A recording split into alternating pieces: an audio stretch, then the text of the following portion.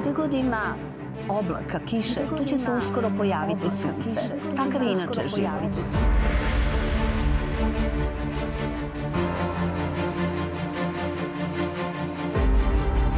Dolaze bolja vremena.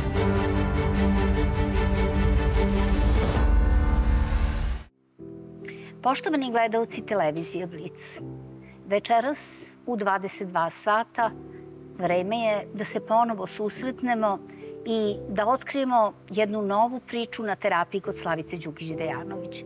Ćukteraš Slavica je večeras naš gost. Ona je zapravo neko čiji glas dobro znamo, zasluženo ga dobro znamo i volimo, ali i neko ko ima svoju ličnu priču i večeras je ona u tom svojstvu ovde sa nama. Dobroveče, Slavice. Dobroveče, Slavice. Hvala vam mnogo što ste prihvatili da budete gost televizije Blic i da razgovaramo u emisiji na terapiji sa mnom o nečemu što možda naši gledaoci žele da saznaju, ali možda još bitnija poruka o nečemu što će možda svakoga od njih prosto stimulisati da razmišlja o svojoj duši, o svom životu, o svojim psihičkim doživljavanjima koji se nekada plašimo i potiskujemo ih.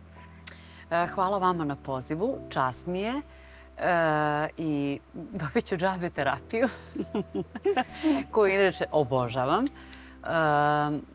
Nadam se eto da ćemo mm, ljudima koji žive u nekom strahu, u nekoj ljušturi e, da se obrate pomoći za bilo šta što ih muči u životu, da ćemo im onako biti podrška da naprave taj prvi korak, jer po porukama koje ja dobijam, mislim, masovno, ko sam prvi put istupila u javnost e, sa životnim, jel te, zdravstvenim nekim problemima, svima je e, glavni i osnovni problem E, šta će ko reći, da li oni treba da idu kod psihijatra, neuropsihijatra, misliće da, se, da, da su ludi i tako dalje. Možda sam ja sad preokrenula ovu našu što temu. Velika za, što je velika zabluda, naravno.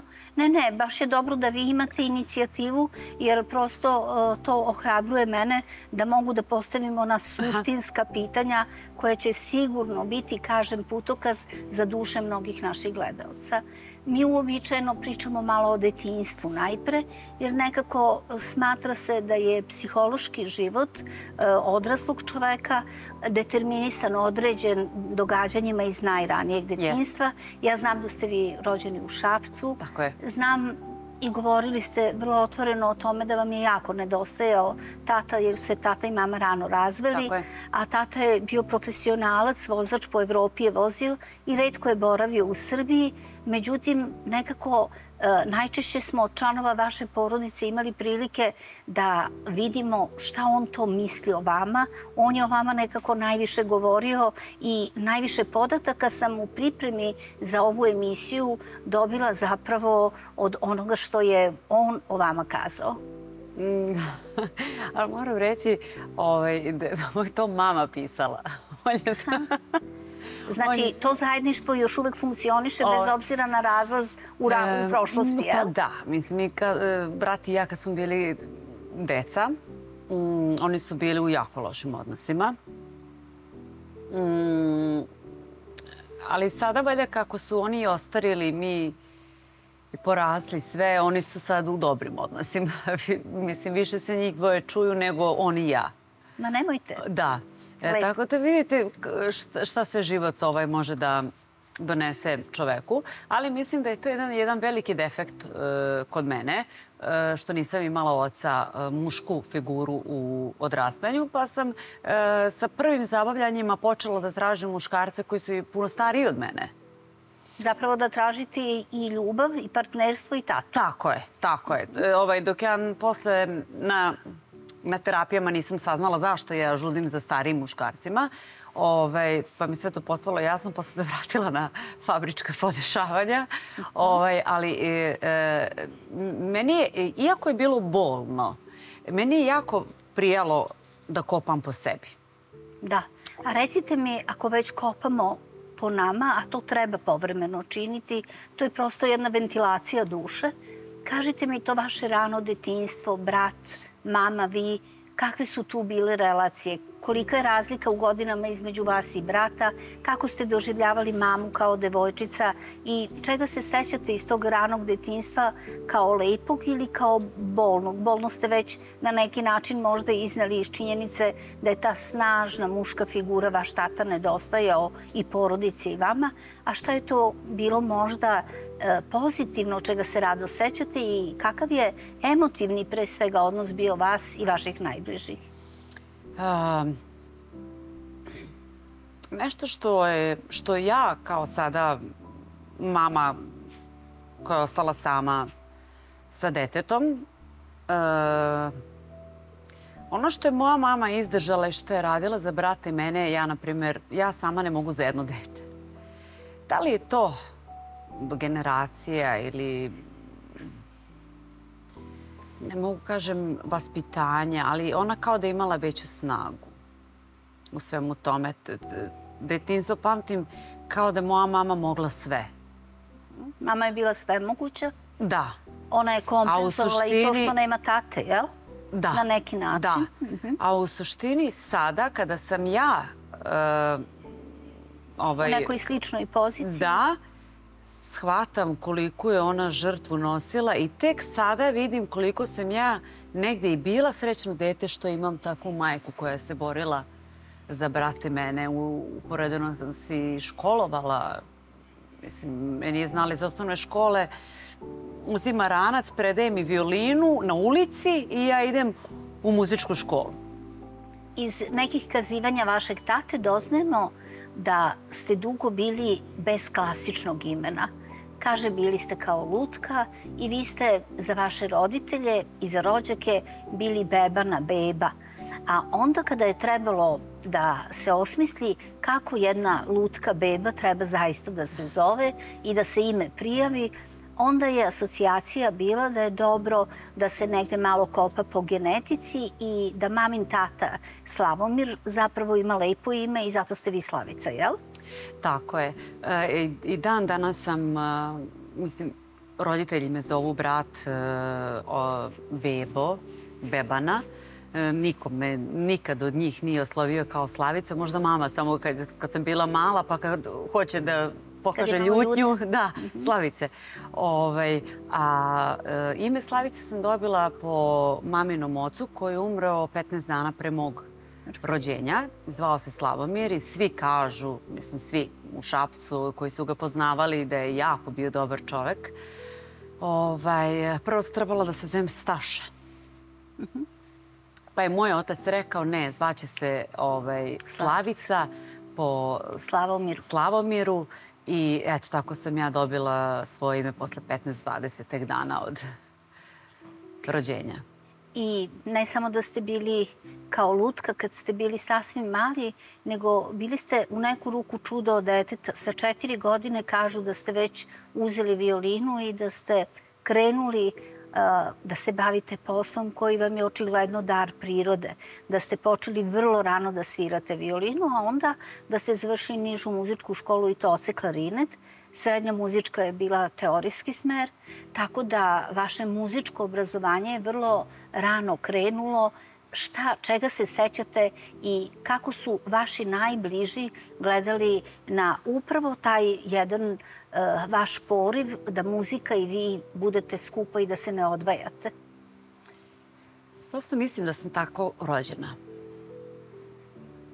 Muzikalna, da, da sam stvorena za, za muziku. A tu da sam povukla uh, na mog dedu, to jeste od mog oca, otac. -hmm.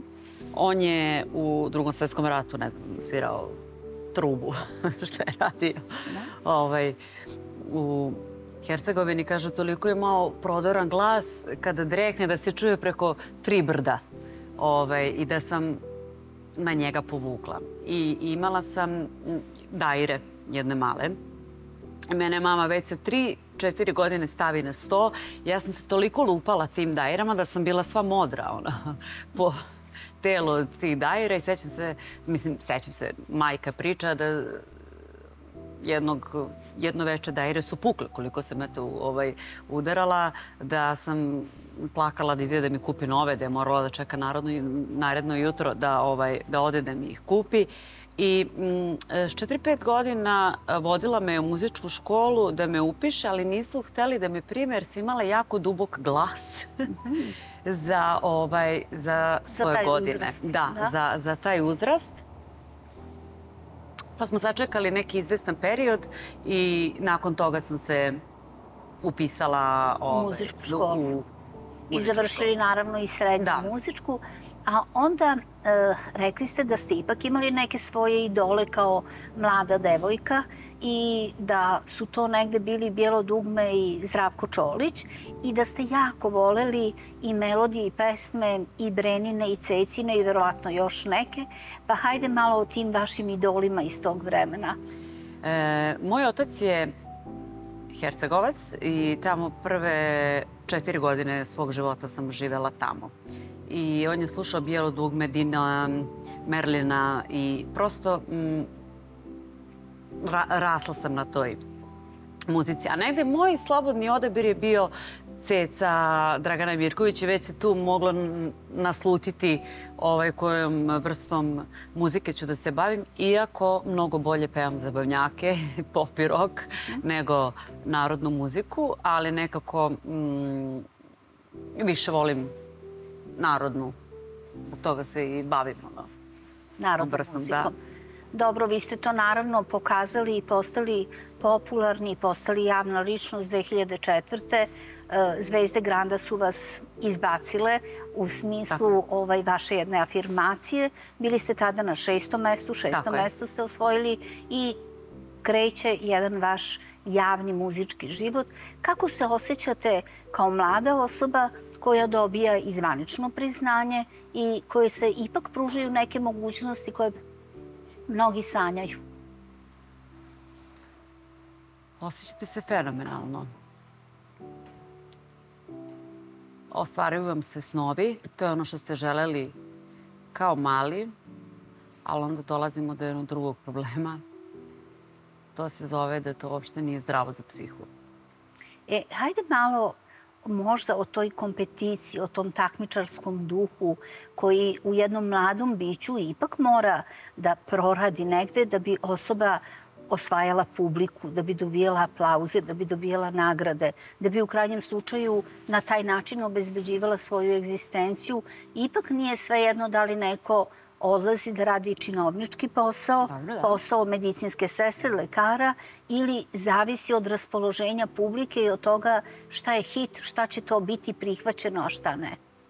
E, da li to mislite na same kvalifikacije ili nakon toga? Pa mislim pomalo i na jedno i na drugo. Evo, Aha. vi ispričajte šta vi mislite da je za vas bilo važno. Ovaj, pa, mm, uopšte nisam bila svesna situacije. nisam uopšte bila svesna ni koliko je to popularno, ni e, kakvi će rezultati biti na kraju. E, prosto, ja sam bila ja. Ja sam imala tu želju da uspem, e, da pevam, da ja snimim e, svoje pesme, mislim, pesme koje mi je neko napravio. Da, idem, da, da, da imam nastupe i prosto ta se meni želja ostvarila. E, to je išlo e, jako brzo. Jako brzo sam upala u jednu veliku mašinu e, koja uopšte nije bila dobra tada za moje godine. Sa mojih 18 godina, mislim, dete sa 18 godina ništa ne zna. Iako sam mislila da ja znam sve. Ja sam to e, izdržavala onako Delovalo je da se dobro nosite sa tim. Da, i onda sam u 20-21. godini veliki psihički krah imala. Da. A recite mi, te 2004. godine imali ste jako lepu haljinu. Ona je bila i prilično skupa. Tata je negde po Evropi našao jednu predivnu i, boga mi, sa cenom poprilično bitnu haljinu uh, koju drugi nisu mogli baš sebi da obezbede, dopuste. Kako ste se osjećali? Uh, da li je tata možda e, nekako poslao jedan deo energije kroz tu haljinu i da li ste osjećali njegovu podršku, maminu, e, taj vaš takmičarski duh e, za koji kažete da nije baš bilo lako izdržati, da li je bio potkrepljen ljubavlju, željom vaših i koja je to vrsta podrške koja vam je najviše značila? Mama je tu bila najveća podrška. Apsolutno. Kroz ceo moj život. Otac je uvek bio dobro stojeći, kako da kažem, i sa novcem. E, tako da e, on me za finale Zvezda Granda pitao šta, šta želim da ja obučem. E, I ja sam rekla želim tu i tu haljinu. Tad je bilo to jako, jako puno novca. Bilo 800 eura, mislim, ta haljina. I dan danas je imam. On je s te strane. Nekako je želeo verovatno da nadomesti da njegov... Da možda da. odsustva. Odsustvo, da. Iz porodice. Um,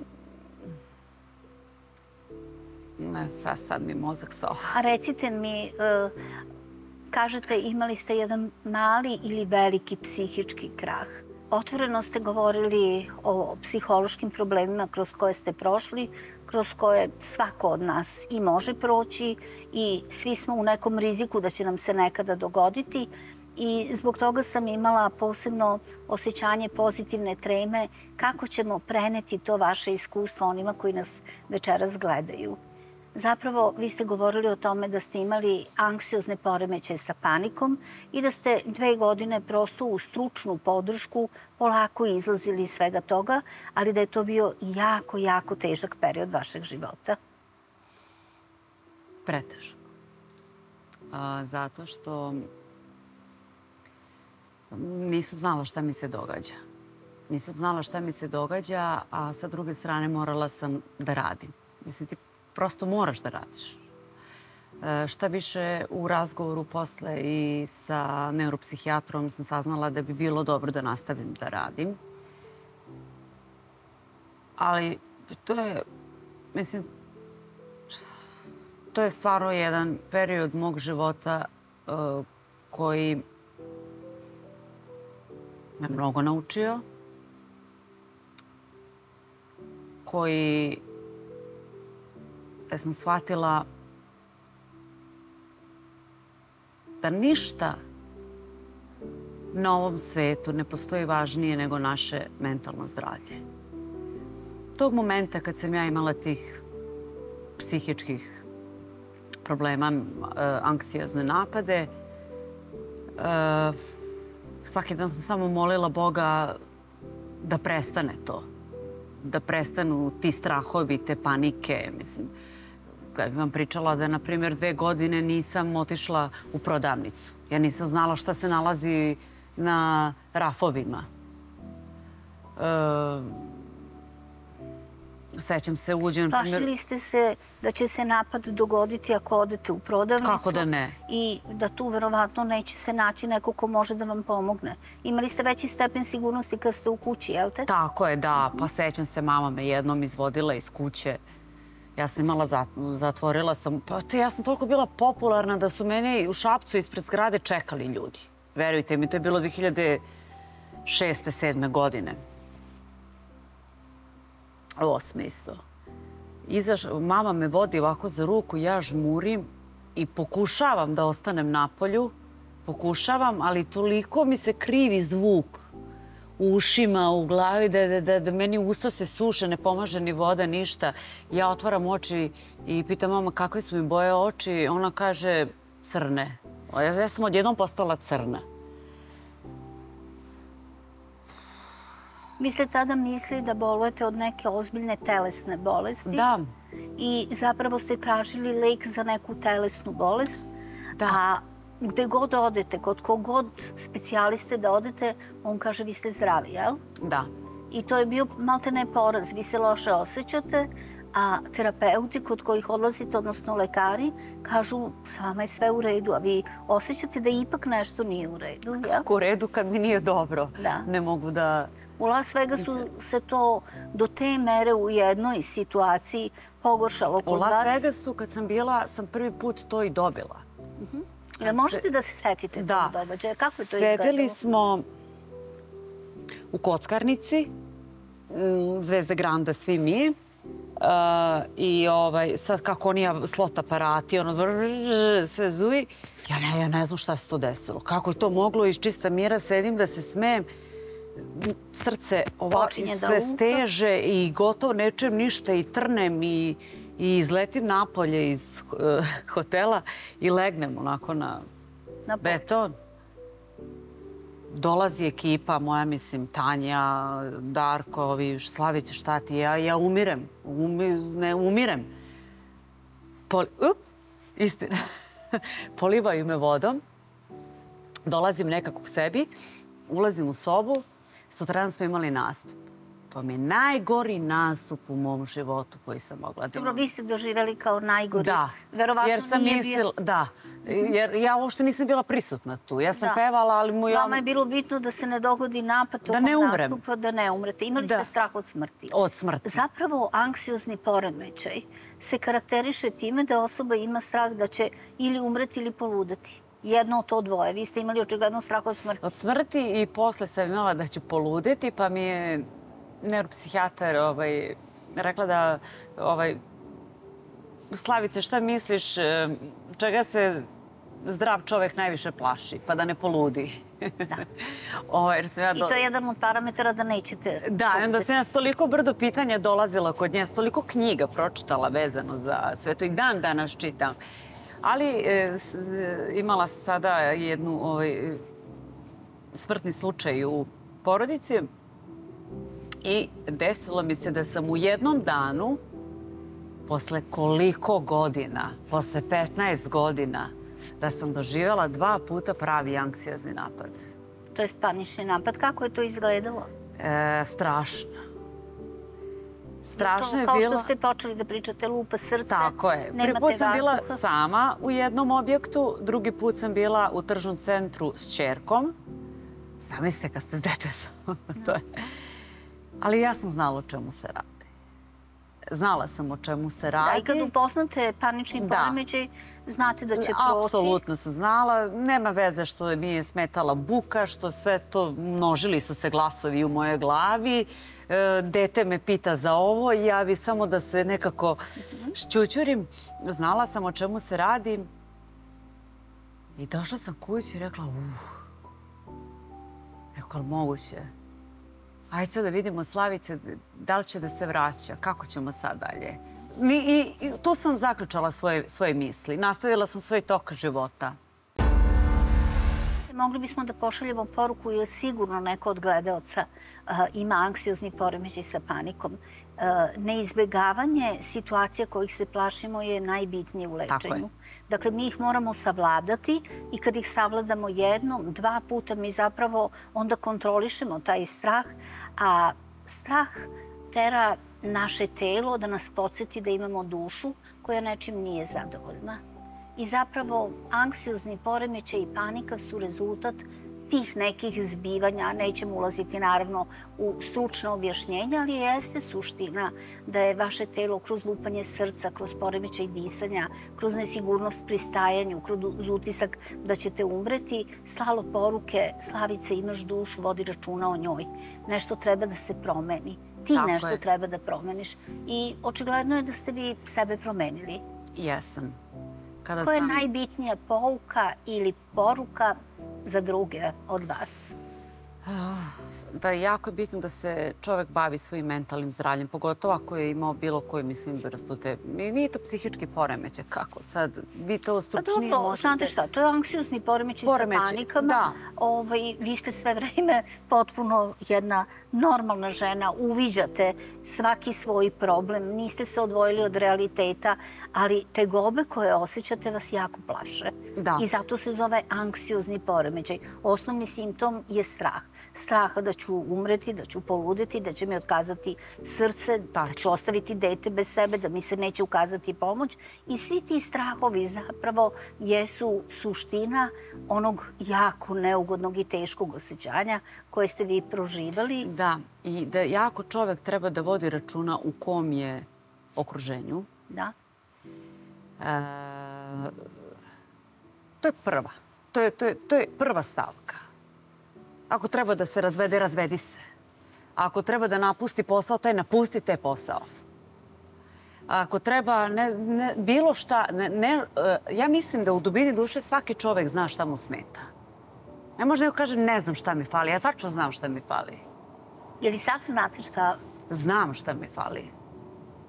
Znam šta mi fali, i, e, ali ne dozvoljavam da me to osjećanje preplavi, da me, da me e, blokira ili da upadam u anksiozne napade zbog toga. Ljudi bi stvarno trebali da, da više obraćaju pažnje na svoj unutrašnji glas. Da, i taj neki mentalni komfor koji treba sebi da obezbedimo podrazumeva nekada u životu moram biti bitnija od svih oko mene, samoj sebi. Da, ja ne, sam to nije jednom... egocentrizam, nego to je potreba da prepoznam šta to meni odgovara, šta to mom psihološkom sklopu odgovara. A svima nama odgovara da budemo u društvima koja su optimistička, da izbegavamo tužne događaje kad god to možemo, nekad se ne mogu izbeći naravno, da prosto ne budemo sa onima koji, kako to mladi kažu, mrače, nego da Tako budemo je. sa osobama koji imaju smisao za humor, za podršku, koje prosto razumeju i druge ljude, a nisu samo egocentrični egocentrici koji vole ljude. E, upravo to su neke staze kojima treba ići da se olakša sam tretman anksioznog poremećaja. Tako je. Nažalost, to ljudi ne rade. Meni jako puno ljudi piše na Instagramu i e, traže broj neuropsihijatra. E, mislim, a, prva rečenica uvek je ne smem nikom ni najbližima da kažem. Strah me da će reći da sam lud, luda ili ne znam šta. Malo je to sve kod nas iskrivljeno. Dobro, vi znate da su drevni narodi verovali da su psihološke smetnje dela bogova i da treba istarati demone iz tela takvih osoba. I deo tog živi u našem kolektivnom nesvesnom ogromna naravno zabluda. I znate kad neko uh, ne sme da priđe instituciji Laze Lazarević, on se zapravo plaši sobstvenog ludila, jer to jeste jedan težak strah, hoću li poludeti, ali da zapravo oni koji imaju takva razmišljanja, oni zapravo nikada i neće ući u to stanje psihoze, ludila. Da. Jeste. Vi ste u životu imali dosta delikatnih relacija. -hmm. Negde 13. godine jedan poznanik vas je upoznao sa ocem vaše čerke. Da. Hoćemo malo o tom segmentu da pričamo. Može, nije problem. um, gospodin Avramov je bio u našoj reprezentaciji. On je svoju karijeru počeo u Vojvodini, a onda 14 godina radio svoj posao u Italiji. I neke 13. godine vas upoznaje neki zajednički prijatelj i bio je to jedan romantičan period vašeg života. Na Maldivima dobijate prsten, odnosno venčavate se ne baš onako da svi znaju pomalo da. tajno i počinje vaš zajednički život, odlazite u Japan gde on nastavlja svoj posao. E, kako se sećate tog perioda i šta možete o tom periodu da nam ispričate? Pa, e, lepo je bilo. Mislim, tad sam negde poslednji put i bila zaljubljena. -huh. Ovaj, a čovek kad je zaljubljen, sve mu je lepo. Pa da si na selu, tebi je lepo. Ti si srećen. A pogotovo kada imate tako dobre destinacije. Tipa da Tokio. Tipa, Tipa Tokio. Tokio. Kaljari, da. Bergamo. A vi ste i u Italiji jedno vreme bili skupa, jel? Da, da, da. Mhm. -huh. Dubaj. Mislim, mi smo na svim tim mestima živeli. Ovaj, to je jedna lepa etapa mog života. Koja je trajala pet godina, mislim na samo formalno zajedništvo. E, šest I kruna je godina, šest. tako da. Da, i kruna je zapravo... I kruna je Viktorija. Viktorija. Da. To je Vaša onako... čerkica koja sada ima koliko? Šest i po godina. Uh mhm. -huh. Tako da mi smo ostavili to iza nas, iza, izašli smo iz tih partnerskih cipela Dobro. Ove, ući ćemo u neke nove ako Bog da, ali ovaj, tu smo da koliko možemo, koliko umemo. Budete korektni roditelji i Tako je. sarađujete kao roditelji. Tako je, ono što je I meni se čini da vi nikad nijednu ružnu reč niste rekli o tati svog deteta. Ne. I E, divno je što je to tako, znate. E, ne, e, nemam ni, raz, ni razloga, Da? e, zato što mm, on je fenomenalan tato. On možda ni fenomenalan muž, mislim, ono, mogao da Mislite da je bude bio kao što ni ja nisam žena. Da, da je bio fenomenalan muž, verovatno ne bi došlo do razvoda. Da, ili ja da sam žena bila Da, dobra. da. Ovaj, mm, I Ali koliko je ipak bola prošlo kroz vašu dušu u momentu kad posle te šestogodišnje veze donosite odluku mi više nismo partneri, nismo par. Mi jesmo roditelji našoj čerke, mi, mi ćemo imati uvek korektne odnose i negovat ćemo ih. E, koliko boli to kad umire zaljubljenost? boli jako. Samo što je zaljubljenost umrla još u braku. Da. Znači nije on, desilo se kao razvod, pa patimo. Patila sam u braku. Da.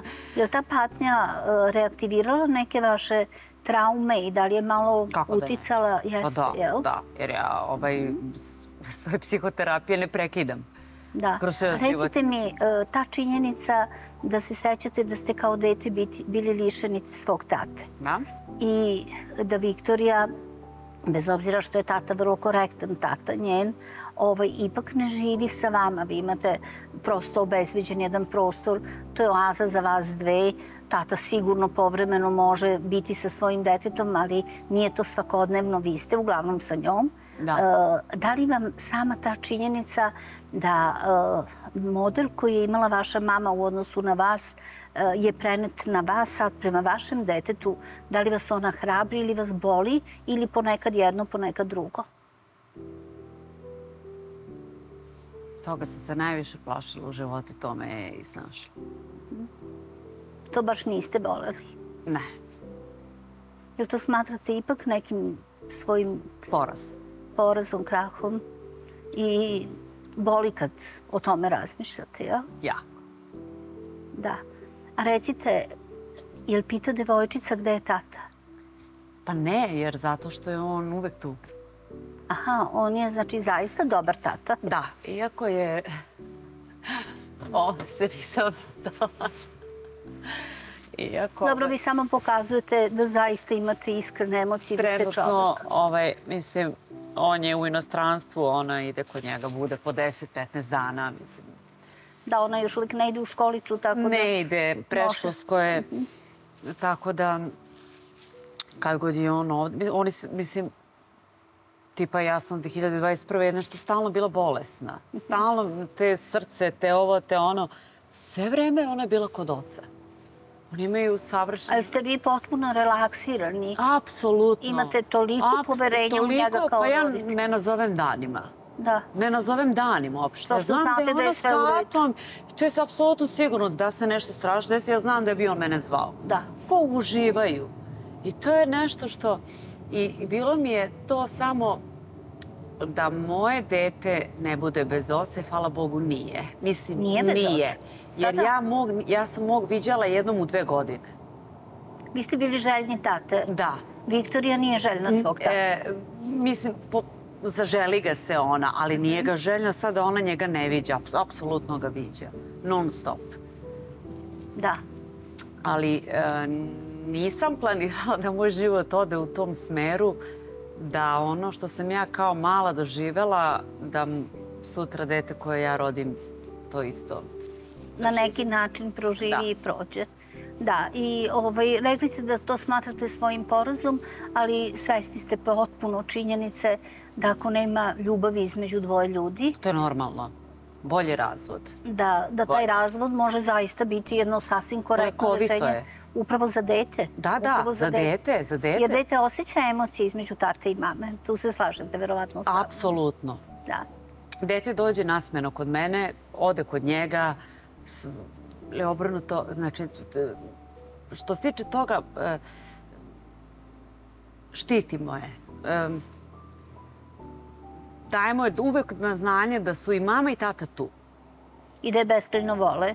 I da se u odnosu na nju ništa nije promenilo. Da li su tata i mama u istom stanu ili su na dve lokacije. E, pa još ona to Ne može da shvati, jel ne mala? može da, da shvati. Em, skoro bi samo rekla, volala bi da niste razdvojeni, hi, hi, hi, pa se nešto ovaj, Kao sme. smeje. Rekao, ali ovaj, nema veze, rekao, pa mnogo, rekao, ljudi, rekao, nije zajedno. Pa sad ona pita kako ste se venčali, pa eto, kako, a jel, kako pi, sad... a jel pričate malo deo te romantike? Pričam joj. Da. Da, pričam joj. Pa kako sam ja nastala?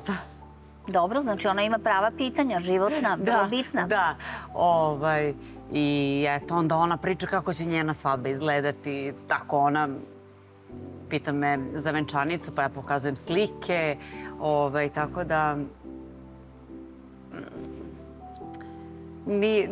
Jeste da je osakaćena da nikad nije videla mamu i tatu da se grle i ljube.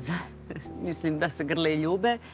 Ali ovaj, s druge strane, ima tatu i mamu koju viđa non stop. Da, dobro. A recite mi, vi ste, e, dok ste čekali svoju devojčicu, jednog momenta rekli profesija mi je jako važna, međutim moje dete i moja spremnost da budem mama je bitnija i jedno vreme niste radili, povukli ste se iz posla, Da, jel? jeste. E, Šta su bili motivi da sebi kažete meni je neuporedivo važnija porodica, meni je moje dete neuporedivo bitnije, jer to opet neki mamin model, e, to kako je ona bila spremna da se žrtvuje za vas, pa eto, vi koristite taj neki obrazac, ili ste se možda plašili da ta trudnoća, ako budete bili često na sceni, može biti nečim pokvarena. Šta se zapravo tu događalo? Mislim da trudnici nije mesto na bini. Da putuje kolima, avionom, e, prosto vlada ja smo imali tu mogućnost da ne moram da radim. Pogotovo dok sam trudna. Onda kad sam se porodila, bili smo tu jedno vreme pa smo otišli za Dubaj. Pa smo se vratili, pa smo otišli za Mađarsku. Dobro, onda smo se oni ja razveli. Ali nekako mi je, uopšte nisam... I, i ja sam je nešto kao snimala, ali nisam se uopšte davala toliko u to. Kao snimim, pa sad me zovu na emisije. Moj prvi odgovor je ne. Ne, nemam vremena, ne mogu. A zapravo niste imali motiva i imali ste strah da ta trudnoća treba da bude fiziološka i da je ničim ne narušite. Pa i to, a i nisam imala potrebe. Nisam imala ni, ono, htela sam budem trudna. Pogotovo što sam prva četiri meseca povraćala non stop. To je, to je bilo jezivo. Kažite mi samo rođenje vaše čerke. Kako ste vlada i vi proslavili, doživeli? Šta se dogodilo među vama tog momenta? Prvo kad saznajete da ste trudni, a onda kad se ona rađa. Um, to je jako nešto bilo čudno oko saznavanja trudnoće. Jer e, ja sam uradila test, pokazuje pozitivno, pa sam iskrvarila to veče, pa sam otišla do... Bila sam u Beogradu. Ovaj, tvoje lice zvuči TLZP, ne znam da li sme da se reklamira. I onda sam otišla kod lekara tu noć. Doktorka mi rekla, ma ovo ide ciklus normalan, niste vi trudni ništa. I ništa, ja nastavim tako. Da živite normalan Da, život. krvarenje to išlo tako, ništa, ako nisam trudna, šta sad da je? Kaže, to će samo se očisti, ništa. I pozli meni na, na snimanju, nešto mi nije dobro i nije mi dobro, anksioznost nije. Da. Ovaj, Prepoznajete, vi znate da nije anksioznost. Da, odem kod e, drugog lekara, ona mi kaže uradi beta HCG, kaže pa ćemo vidjeti. Ja uradim ono neka brojka nenormalna, Mm. 40.000 tipa, a sve iznad 5 si u drugom stanju. Ja odem na pregled kod te druge doktorke, ona gleda na ultrazvuk i kaže um, pa vi niste trudni, kaže, izgleda da vaše telo samo simulira kao Mhm, Hormonska simulacija, da. Da, sad ne znam, um, blighted, uh, kako se to zove na engleskom, zaboravila sam. Kada telo misli da je trudno, to sam prvi put tada i čula. Da, postoje te hormonske trudnoće Da, samo koje i nisu kaže, prave. Da. trebalo bi da se očistite. Rekao, ajde, rekao, što brže, rekao da to, pošto imam snimanja. I kaže meni moj bivši muž, "E, zašto bi ti to radila u Beogradu kad imaš ginekologa svog u Šapcu? da. Pa kao, pa tu ovde snimam, to lice zvuči poznato svaki dan, pa znam, nemam pojma. I ja nazovem svog doktora, objasnim o čemu se radi, kaže on da, imao sam takve slučajeve, ništa nemoj jesti, ti ceo dan, dođi uveče. I kaže, ajde da ja odradim ultrazvuk. I čovek pogleda, Pre nego što ovaj anestezijolog došao, Vlado me dovezao, tu je moja mama. I on gleda, gleda, gleda. I ovako. Rekao, Gorane, šta je bilo? Kaže on, ovo dete živo. Ko rekao dete, čovječe, sam, šta pričaš? sam da? trudna ili nisam trudna? Kaže, čuj. I pusti, ono, srce se čuje. Tak, tak, tak, tak. E, tak, tak. sad mi opišite šta vi onda osjećate kad on to vama kaže. Ja ne znam, ja ga pitam pet puta, sam trudna ili nisam? Kaže, jesi, kaže, čuj, srce. A krvari mi se istovremeno. Mislim, dao mi posle neke hormonske tablete. Preparate, da. Onda mama tu je bila, rekao, mama, pa ja sam trudna. Ja, ona vrišti, zove Vladu. Vlada ne sme da uđe. Ljubite se vi, Vlada, čestitate jednu Ne, drugom. ne, u šoku smo. Ništa, samo ste u šoku. U Blok. šoku jer sam ja došla Blokada. da mi se, se ja očistim jer su rekli da nešto s hormonima nije u redu. Da... Mhm, I tako da, eto, Tako vi saznam da ste Za je Viktoriju... Viktorija na putu. Da, a verovatno možda bi Da me vam i očistili pridruži. u Beogradu, ne bi mi ni rekli. Eto, na primjer. Eto, zamislite.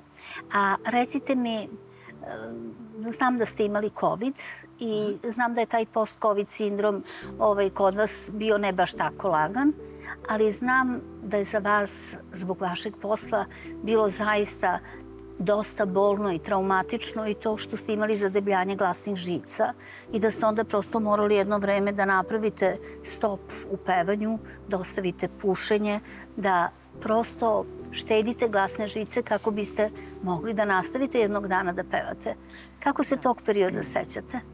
Pa to je bilo skoro. Ja sam i dalje na poštedi. Mm, Pričam onoliko koliko treba. Na inhalacijama sam, cigarete sam ostavila, e, gazirano ne pije. Mislim, alkohol nikad nisam ne pila, ali uvek sam rado popem čašu rakije ili vine ili to sad sve, ništa, sve Ništa to toga, da. zabranjeno.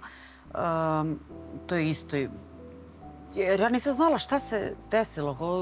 Ja sam čula da je to Može da se dogodi. se dešavalo, ne znam kome i Severini, da li Breni, Ani Bekuti, Polip i to, ali to se neka kaže, e, od sad kraj. Ne možeš više da pričaš, nemoj da se dereš, e, nemoj da šapućeš slučajno. Kao jer još veće naprezanje glasnica šaputanjem. Jeste. Ju, ja došla kući, šta je rekao? Onda sam otišla kod fonijatra. Da, postoji to za, e, zadebljanje. I dalje sam na poštedi glasa, da ne nastupam. Ali mm, fonijatar sumnja da je isto to nakon korone, jer dolazili su joj operski izvođači kojima apsolutno više glas ne radi kao ranije, jer pošto je kao COVID um, kroz respiratorne, da, da, da. da o, u mišićima e, grla glasnica ovaj, prosto ošteti. U, tu je prošao virus i on je Napravio izvesno oštećanje i da. zadebljanje. E sad to tek treba kod mene da se ispituje da vidimo šta ćemo ovaj, Slavice, pre nego što se rastanemo, Mhm. ja ću da vas pitam za nešto što je lepo u vašem životu, ali što je naravno tužno, ali prirodno tužno. E, imali ste baku Nanu koju ste beskreno voleli i njena smrt je zapravo bila jedna od vaših očekivanih trauma, ali ipak velika trauma. I fotografija koju ste pokazali, vaš zagrljaj, je zapravo demonstrirao vašu ljubav prema njoj i znam koliko je volite. Prosto iz svih e, vaših emotivnih komentara o tome sam stekla potpuno realan utisak. Kažite samo, da li bi baka bila ponosna na to što ste vi takvi kakvi ste? Da. Koju bi vam ocenu za život koji vodite danas, za to kakva ste mama, kakav ste profesionalnost, ka, profesionalac, kakva ste čerka, baka dala. Je bi to bila neka jako dobra ocena? Moram da kažem anegdotu jednu. Ona je meni pre jedno deset godina rekla a, šta ti radiš, ti pevaš kao, šta, šta je to? O, nije shvatala ozbiljnost. Ona je umrla u 87. godini od Alzheimera i demencije i starosti. Mislim, sve je to nju skrpilo. E, ponosna je od uvek bila na mene. E, I naravno teško mi je pala njena smrt. Iako sam bila za to već duže vreme Bože, uzmi je samo da se ne muči, jer se jako, jako stravično mučila poslednjih meseci. Bila je u domu ovde u Beogradu i e, te baš, eto, nisam htela drugu sliku da stavljam gde sam se ona ja ovako lice slikala, jer ja tu baš plačem. Iako ona nije bila svesna kad sam je ovaj, ostavljala u dom, ali sam je mesec dana pre njene smrti iz bolnice izvela. Bila je ovde i u bolnici. Baš sam mučila. Ono. I koliko god vi kad vidite da se neko muči, kažete ovo nije humano gledati da se neko ovoliko muči, kad vam jave tu vez da je taj neko preminuo, preminuo mislite da ste mogli još nešto da uradite, ali u suštini niste ništa. I pitate sebe da li sam učinila sve. Da. Da. Pa, e, Slavice, mnogo vam hvala što ste e, večeras tako iskreno i tako otvoreno govorili o onim segmentima vašeg najintimnijeg života koji zapravo govore koliko ste vi jedna vrlo kompleksna, jedna slojevita osoba i koliko u vama ima i emocija i racionalnosti i ljubavi i požrtvovanja i negde Meni je bilo zadovoljstvo što smo nas dve večeras razgovarale. E, u ime gledalca i u svoje ime vam se zaista zahvaljujem. Hvala vam, Slavice. Poštovani gledalci, evo, završavamo i ovo večerašnje gostovanje i htela bih prosto da vas pozovem da sledeće srede opet budemo skupa jer priče o tome koliko može duša da boli i koliko može da bude široka. E, takvih priča nikada nije mnogo. Budite u sledeću sredu u 22 sata sa nama na terapiji sa Slavicom Đukić-Dejanović. Laku noć.